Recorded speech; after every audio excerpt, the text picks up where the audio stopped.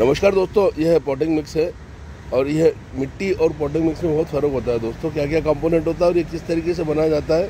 आज स्टूडेंट्स आए हैं हमारे यहाँ तो आइए हम देखते हैं इसे कैसे बनाते हैं। ये स्टूडेंट्स हैं ये ट्रेनिंग पर आए हैं और ये आपका क्या नाम है? अनंत पटेल। आनंद जी पटेल और ये अजीत पटेल। अजीत पटेल जी। तो ये सारा सामान इकट्ठा कर लिया हम लोगों ने जिस तरीके से लगेगा। और ये देखिए करीब ये दो बोरी का माल है। करीब दो सवा दो बोरी का माल है। इसमें हमने डेढ़ बोरी करीब मिट्टी ली है। उसके बाद ऑर्गेनिक एक तगारी ये लिया है वर्मी कंपोस्ट है।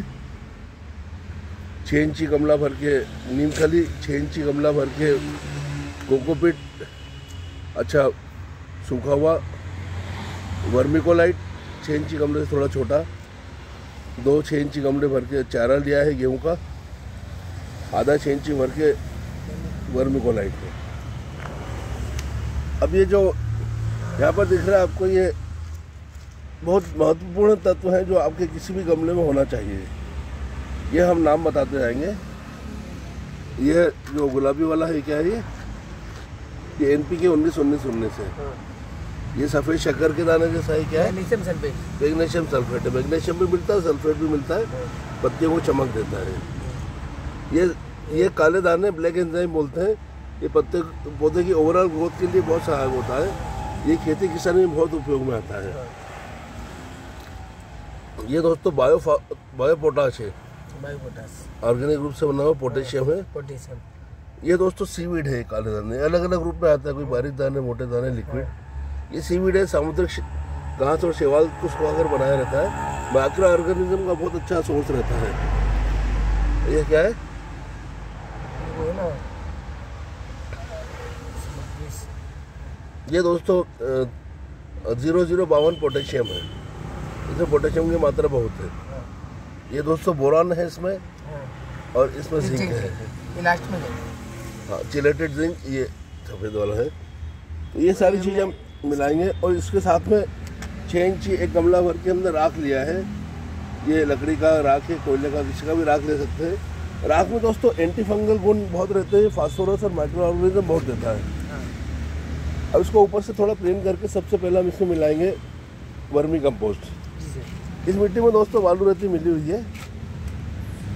इन सारों को मिलाना हमें इस तरीके से जैसे सौ पर में मिलाते हैं। अच्छे से मिलाना जैसे अनाज में खाद मिलाते हैं। वो करने से पहले। हाँ। चारा डालते जाइए साथ में।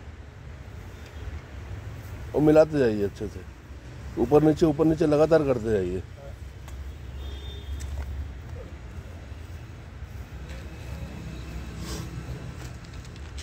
ये नीम खली मिला रहे हैं। नीम की खली मिलाऊँगा।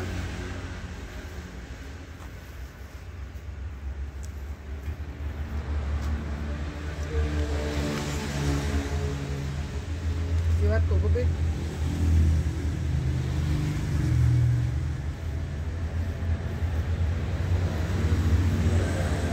दोनों हाथों से इकट्ठा करके मिला दीजिए।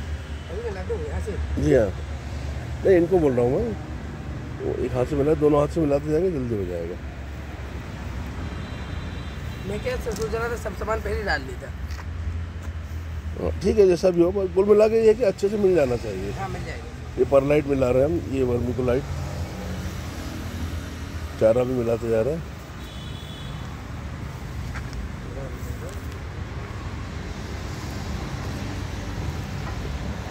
इसके बाद डालूँगा राख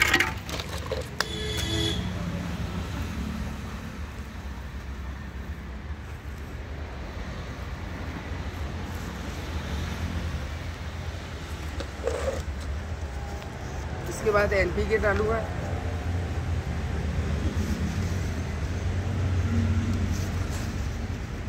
मैग्नीशियम सल्फेट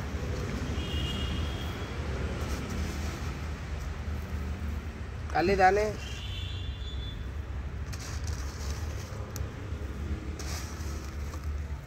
पोटाश से। समुद्री सेवान।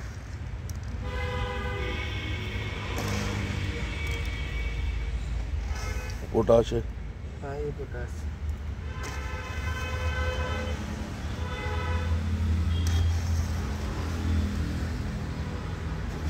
बोरोन है। बोरान।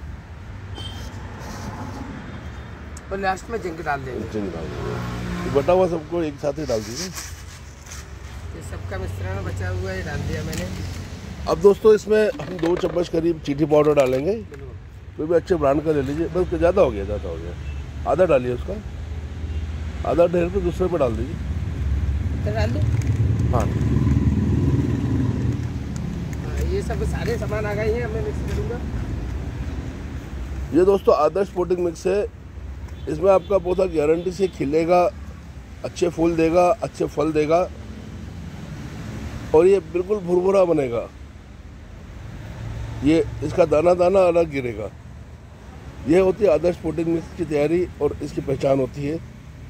इसमें हमने जो वर्मी कंपोस्ट यूज़ किया है, वो ऐसा होना चाहिए कि चाय के दाने जैसा अलग अलग गिरे, ऐसा लसलसा या चामठा जैसा नहीं होना चाहिए। और इसका मिलाना आप देख लीजिए, बिल्कुल ये आइडियल रूप से है। ज़्यादा मात्रा हो तो आप तगा- तगारी से कर सकते हो। थो, थोड़ा हो एक दो बोरी तो हाथ से करने ज़्यादा बेहतर है। तो ज़्यादा बड़े डल्ले हो या पत्थर वगैरह हो तो निकालते जाइए। वो जड़ों को अवरुद्ध करते हैं।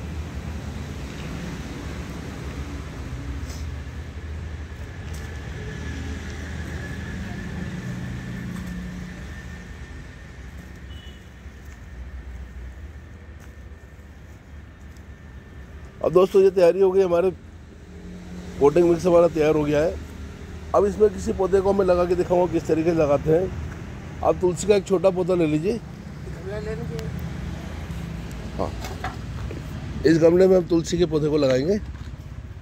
एक मिनट एक मिनट। इसमें पहले हम एक दो मुट्ठी चारा डालेंगे सिर्फ़ चारा। चारे से क्या होगा कि वो हाँ, मिट्टी को नीचे आने से रोकेगा और गीला होगा कि उसको पोषण देगा। बहुत से लोग पत्थर डालते हैं लेकिन चारा है सूखी पत्ती डालना चाहिए। काफ़ी है। और थोड़ी मिट्टी डालिए एक दो मुट्ठी। पूरा मिक्स डालिए।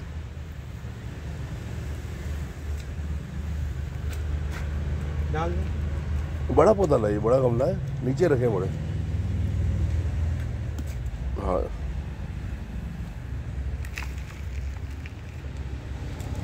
थोड़ा सा वो डालिए। ये पौधा है दोस्तों तुलसी का अच्छा बड़ा हाँ। चलिए हम ऐसे फाड़ेंगे ताकि जड़ें डिस्टर्ब ना हो।